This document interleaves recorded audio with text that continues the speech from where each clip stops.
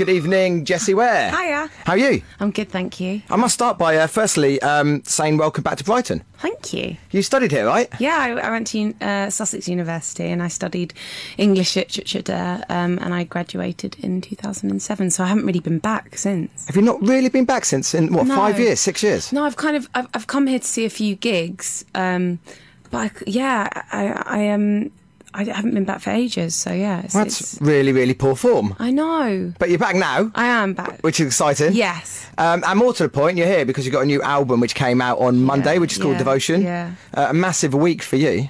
yeah, it's been it's been fun. Um, it's been really exciting to be honest. Um, I can't really believe that I've got an album out, and then like it's just been it's felt really positive and pretty surreal. Yeah. Well, well, well the album's great. I, it's Thanks. so sultry and soulful, and there's a lot of 1990 R&B influences I can hear on, Oh, on the album as well. And uh, it doesn't really sound like much else that I'm hearing at the moment, Oh, which is, uh, you know, it stands out uh, a lot. Thank you. But you made your name working with electronic producers, people Uh-huh. like SBTRKT and Joker. Yeah, yeah, yeah. Who are people that we've been playing as well, loads on this show. they're great. Um, and they are, and they're, they're, they're probably the hottest, you know, two of the hottest albums of the last year, I think, came from those two guys.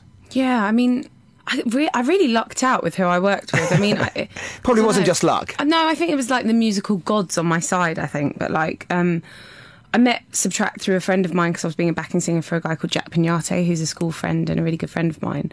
And the guitarist in the band was um, playing me a lot of SBTRKT, and he was like, "You should just meet him." And it was kind of it was before he got signed, and he was just like putting out white labels and DJing a bit.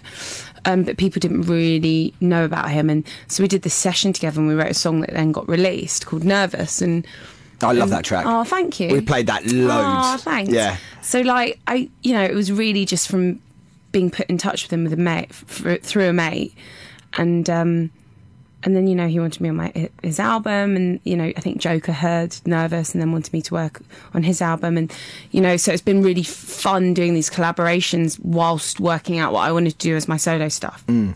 Because I think the voice really does suit sort of down tempo dubstep and down tempo electronica, and it just seems like a really natural fit. Yeah, I mean, I love dance music, so if it wasn't going to be a garage song, then um, I, I, I mean, I, I loved what um, SBTRKT was doing, and it's pretty near to garage as well. But, um, but yeah, and then Joker's just like the best in his field at, at that kind of music. So You're yeah, a big fan of, of, of bass music, right? Yeah, I am. I mean, I used to go to loads of drum and bass raves when I was younger.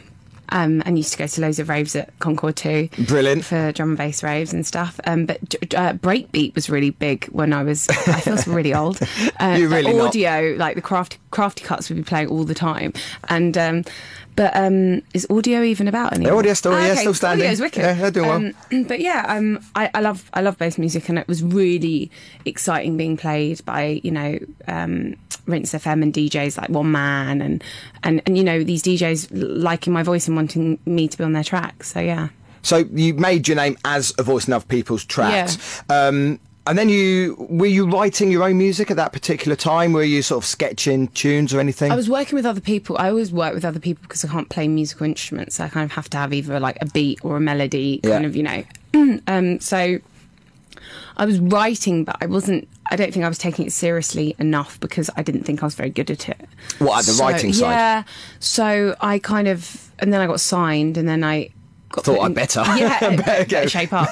Um, but no, I just I I kind of had a bit of a love hate relationship. Well, actually, quite hate. I hated it at the beginning. I just didn't feel confident, and I think it's very different to do a kind of collaborative uh, vocal on a dance record to then being like right i'm doing my solo stuff Mm. now and what do i want to say so i kind of got to grips with that and then and then it all kind of fell into place it was all right so was it a case of drawing upon your own personal experiences to find the material to write about? yeah and like maybe embellishing things as well and like Don't let the truth get in the way of a good story. Yeah, exactly. And like, I think I kind of found it quite e- a bit easier to like hide behind an embellished over the top story because then I just felt like oh, I was just like playing, I was performing a part, like a song in a musical or something, you know? Fantasy world of indie yeah, music. absolutely. And then it didn't feel so kind of um, so close to me. But then, you know, some of my favourite songs on the album are the ones where I kind of just let rip. And, you know, there's a song called Taking Water, which is about my little brother. And, you know, Wildest Moments is about my best mate. And, and so, yeah, I feel like uh, with time, I, um, I drew on experiences and, and, and got and dealt with it like that. Okay, well, let's. Uh, you you've brought your guitarist mm. along with yes, you. Yes, Joe. Uh, Joe's your guitarist, and you're going to do a song from the album for yeah, us now. Yeah. Which we're excited about. Uh, tell us about this song. It's called Nightlight. Um, Nightlight is um, it's going to be my next single, and it's it's actually it's about my boyfriend. But he, it's not his favourite song oh at all, and I think he really wishes Sweet Talk was about him. And I'm like, it's not about you, sorry. Um, so it's just like me being able to kind of sing a love song to person that I love, and and I'm also really scared of the dark. So he's kind of yeah, it's just kind of a protective song. But okay. yeah, he's not into it. Okay, so, that's a shame, isn't it? Other people, I think, how ungrateful it. of him. I know. well, we, we, let's have a listen to it. Okay, everyone enjoy it. we, we, maybe we won't like it. Who knows? Uh, so, whenever you're ready, Jessie, uh, this is a track from Jessie Ware's album Devotion, which is called Nightlight, recorded live on Juice.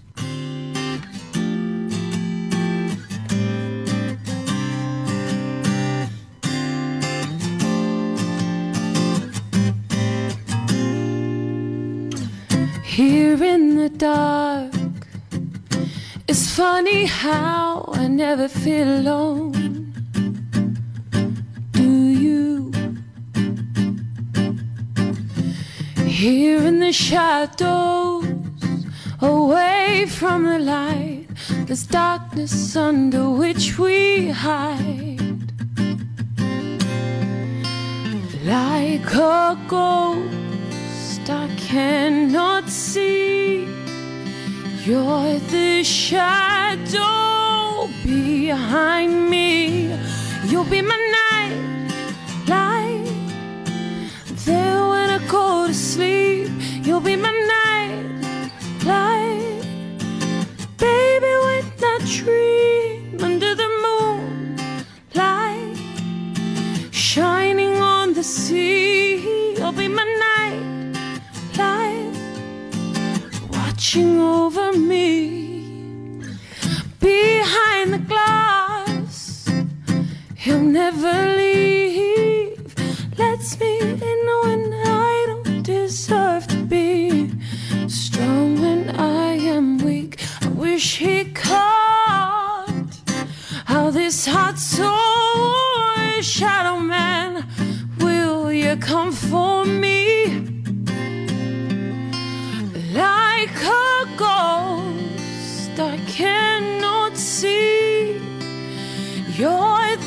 The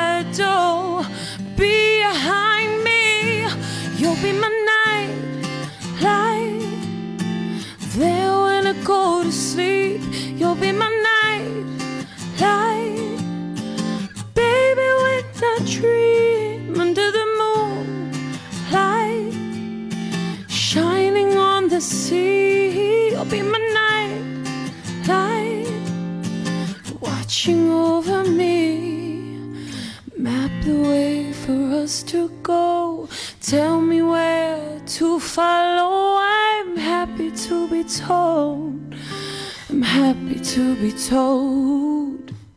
I'm taking it apart for you to see. I could be falling to pieces. So let me fall, let me fall into your shade.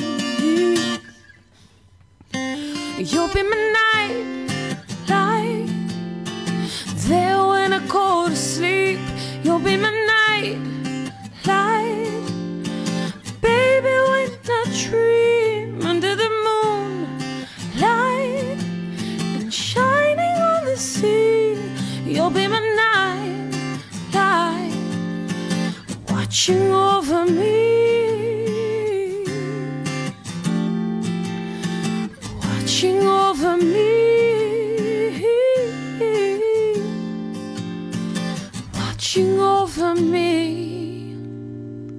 That's Jessie Ware on Juice on a 7.2. Thank you, Jessie, uh, playing a track from her album, which is called Nightlight. Thank you for recording that. Thank you. Um, I don't know what you, what's wrong with your boyfriend. I thought that was lovely. Thank you. Yeah, I appreciate it. Okay, okay, you can have that one if you want. Oh, okay. Thank you. Um, you, we, we talked about your collaborations um, with people like SBTRKT and uh, Joker, Yeah. uh, we're massive fans of. Do you think now that you've sort of stepped out and, and you're doing your solo album, do you think you'll? I'm, I'm sure you will at some point go back and do collaborations, but are you more focused now on making a name for yourself and rather than just being a voice on someone else's songs? I, or? I always want to do collaborations because because it's where I started and because it's the people that like welcome me into being a singer really. They let me be a singer. And and and I, I never want to forget that and I also love it. And I love the fact that I can I feel like I can do both.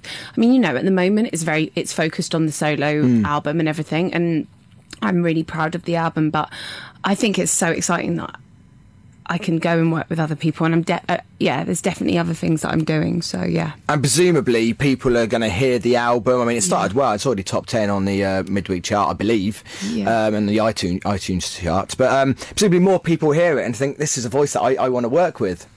Yeah, I mean, Do you have anyone in mind that you would like to knock on Oh. your door?